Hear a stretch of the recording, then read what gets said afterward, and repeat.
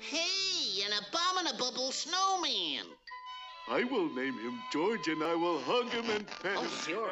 I know I'm a louse, but I'm a live louse. and And I will give him security. And I will keep him warm like a mother hen so he will never feel rejected or lack for love. Poor old Bugs. But any way you look at it, it's better he should suffer. After all, it was me or him, and obviously it couldn't be me. It's a simple matter of logic. I'm not like other people. I can't stand pain. It hurts me. Okay, a bomb. Here's your bunny rabbit. The bunny rabbit, George? Bunny Rabbit? Me? Yes, you, Doc. Ho ho, very funny. Ha ha, very droll. Hey, Shorty, what do you consider to be the distinguishing characteristics of a rabbit? The uh, distinguishing character.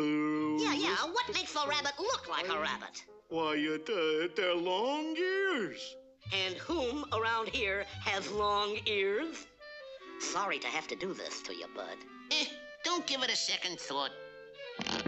Oh boy, just what I always wanted. My own little bunny rabbit. They really do make a charming couple. Pet him and squeeze him and rub him and stroke his bill and rub his pretty feathers. And... Hey, wait a minute. Bunny rabbits don't have feathers and bills. I know, I know. There goes your bunny rabbit.